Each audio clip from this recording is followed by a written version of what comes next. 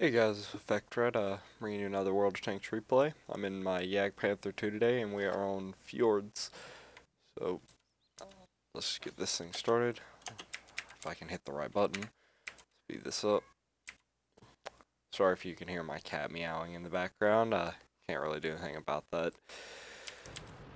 Gonna slow it down as I get into my position over here by this rock. Start off the game kind of slow. Um, I start getting more aggressive the uh, farther into the game that we go, which is really how it should be. So, first people spotted an IS-8 and a T-21. Centurion 7-1 over there is already taking some damage. ST, uh, STI, ST1, whatever you want to call it, uh, coming, going down there.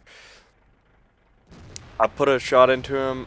It hits him, but I do not believe it uh, did any damage.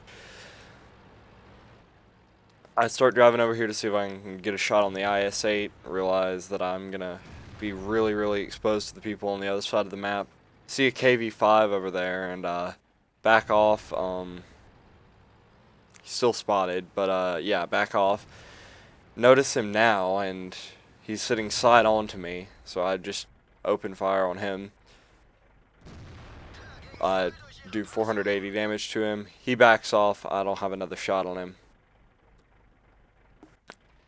S that STI has managed to um, go down into the, the dip in the ground there.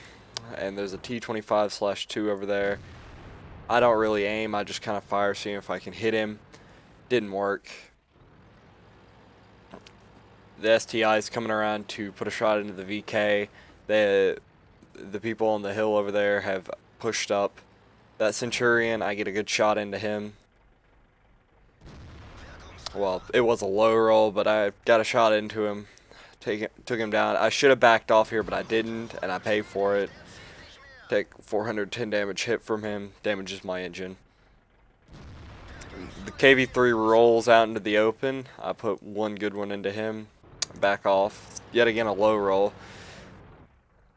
T25 slash 2, I reload, but he dies before I can fire the gun and kill him. The those guys down in the bowl there, they're pretty screwed. Um, they've lost all their backup and all their tanks are just getting picked off one by one. T30 over there, he starts backing up and I overlead the shot and it probably wouldn't have hit him anyways, so, you know. Yeah, and then the next shot I, I reload and I fire again, and this one just bounces off his turret. Bad angle, lots of armor, not enough pin. At this point, I start uh, moving forward to get shots into these guys. That STI is retreating back. I pull far enough over the edge to fire one into the back of his tank. Yet again, a low roll. I back off. He's starting to turn around. I'm I reload just in time to put one into the side of his turret, which it's which is kind of surprising that it pinned. Now, this could have been a really dumb thing to do. That's a Centurion 7-1. That's the best player on their team. I uh, go down there to start try or to try and finish him off. Go around this corner. I'm going about 50-ish. He sees me, tracks me. I fire and miss. If that M103 wasn't there, I would probably have died. So, thank you, Mr. M103, for saving my life there. That T-30 is about to die. He just put one into my platoon mate up there. But he's about to get hit by a whole bunch of crap. He's going to get lit on fire too. Most of their other tanks are on the other side of the map from where we are. And so yeah, now there's they could still pull this back if their other players were any good. That T-30 is on fire, as you can see. Uh, he's going to burn to death and get shot by that M103. This VK over here has been at the back of the map pretty much the entire game, or that's where he was just spotted at anyways. So, we have a pretty large number of people defending our base, so we're not too worried about them capping it out. First shot I make on this guy was a pretty poor one. I should have just waited for him to fire, then went over, but I aimed for the that commander's hatch and just missed it entirely. I go a little bit outside here so that he's not focused on me. he doesn't have enough gun depression. He gets shot twice, fires into the ground. So I'd use this as my opportunity to go over, and I he turns his side to me, and I put one right into his side. I then turn to engage this KV-5. Uh, he bounces one off of me. I hit him for 526, bringing my damage total up to 334, and I reload and finish him off.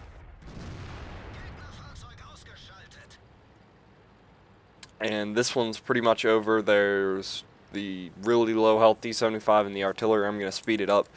I'm going down this way to flank around to get around the artillery because I can see where he's at.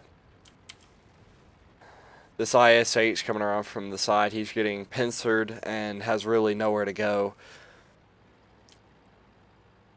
I pull up here. He could have shot me, but I doubt it would have hit me, and I kill him. So yeah, that was a pretty good game I had in my uh, Jagdpanther 2.